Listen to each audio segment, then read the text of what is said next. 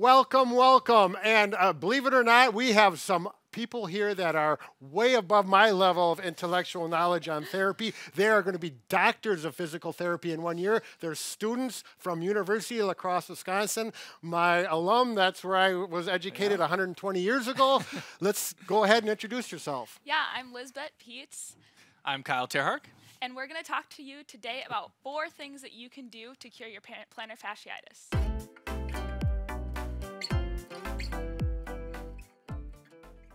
Right, so I want to show you some stuff about the foot here. So if you think about on the bottom where you're having most of that pain right near your heel in here, you actually have a thing called your plantar fascia, which is what the name mm. plantar fasciitis comes from, and it runs all the way from your heel down to your toe.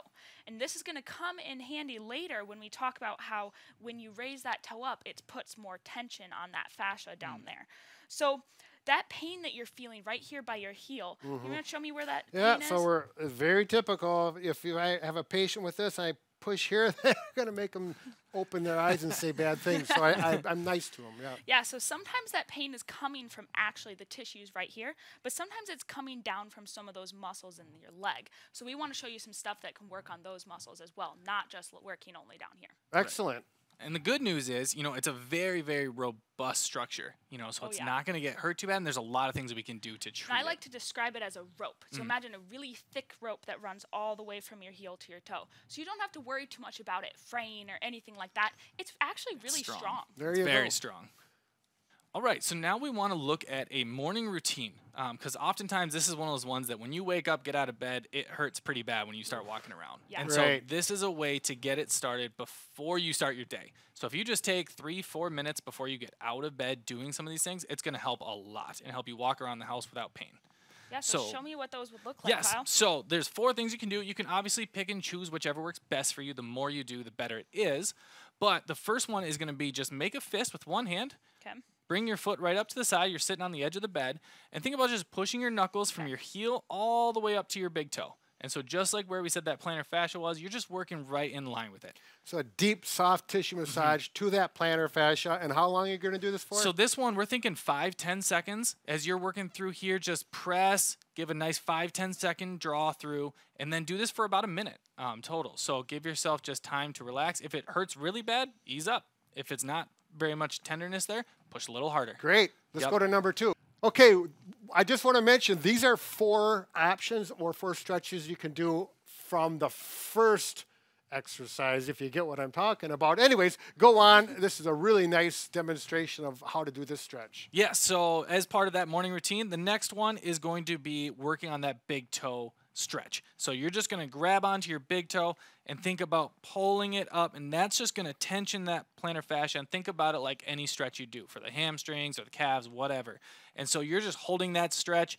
Ease it in five, 10 seconds, ease it back out. You're thinking about just getting the tissue used to being on some stretch. Nice. All right, so now the third part of your morning routine is going to be just active ankle pumps. So this is just getting extra blood flow to the area. This is creating some extra motion up through the ankle, so you got calf muscles going down into the foot. This one is just getting everything ready to go for the day. 10, 20 ankle pumps. Yeah, 10, 20 is plenty. Yeah. Um, if you want to do more, go for it. Sure. All right, and the last piece of the morning routine, um, this is basically the last one before you get up and put all the weight onto your foot. This is just going to be rolling a ball over that plantar fascia. So this can be, you know, as light as a tennis ball where it's got some squishiness to it, or you can go all the way up to like a golf ball. That's going to hurt a little bit, so ease into that one. um, so make sure you work your way up to that one. But we're just going to be rolling that ball from the heel all the way up to that big toe, just working right along there. Add a little pressure into it. If it's not too bad, add more pressure. If it's pretty tender, ease that pressure off. Always And push more pressure in with your hands too. yes, you can always add more on there. And then this will be the last one before you get up and start walking around your day. All right, so now what we're looking at is building the muscles inside your foot. So these are the intrinsic muscles. They're small muscles, but they're deep in the foot. So think of where that fascia is, they're even deeper into the foot. And so these are very important to strengthen. They're easy to get weak um, because these ones will actually help take that pressure off of the fascia. And so the way that you can work on this exercise, there's a nice simple one you can do. And so we call it kind of a short foot exercise. And the idea is we drew a line right on here so you can see the arch, but I want you to think about raising up your toes and think about bringing that foot up as far as you can so you can see this arch increase here. So this part of your foot comes up nice and high.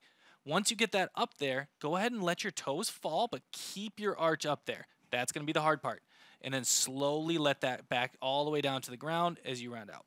So this is where you're most likely resting. We want to work about bringing this arch up so that you can build that muscle on the inside. All right, so I'm bringing my toes up, Yep, making that arch nice and high, good. bringing the toes down, and then I get to the hard part, right, where I have to Yep. hold that arch before I let it and relax slowly down. let it down. That's perfect.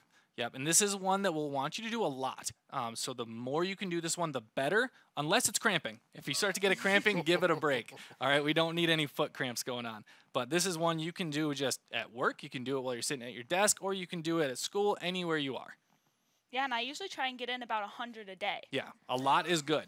A lot is good. Because if you think about it, if you're trying to learn how to throw a ball with your opposite hand, you couldn't learn how to do that if, if you only did like 10 a day. You have No. to be up in the 100. Mm-hmm. So I might break them up, do 10 with my coffee, 10 when I'm waiting for the bus, 10 when I get to work, 10 at lunch, you know, and it adds up pretty quick. Absolutely.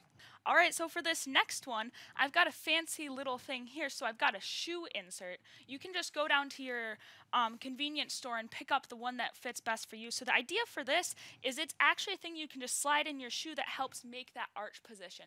So what this is going to do is it's going to take some of that load off of those tissues so they can get a chance to um, heal a little bit and regenerate so that then you can do what you want to do.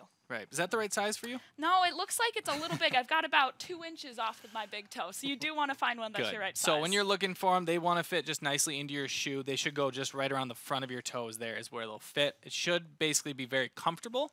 Um, it really doesn't matter what arch type you have on this one. We're just looking for what's the most comfortable. That's what most recent evidence is saying is find comfort. Um, even just the store-bought ones versus those custom orthotics.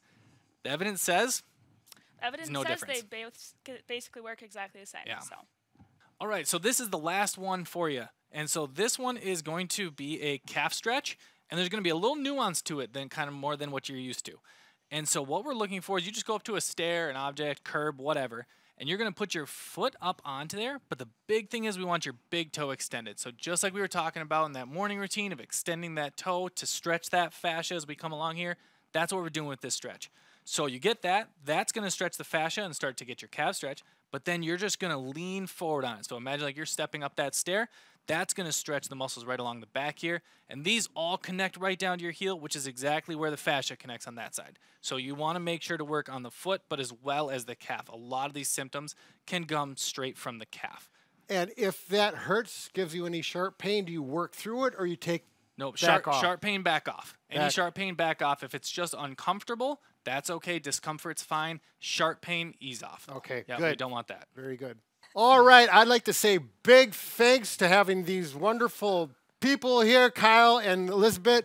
And uh, would you want to say hi, goodbye to anybody out there in the world? Well, just thank you for having us on. This is great. Um, we're super excited to have these opportunities and be out here. Um, and yeah, just hi to all of our class. Um, Oh, yeah. It's great to see you guys. and I'd like to say thank you to my two dogs, Spruce and Maple, because they're my reason for getting up in the morning. Oh, excellent. And once again, keep good care of your feet. Enjoy the day. Bye now.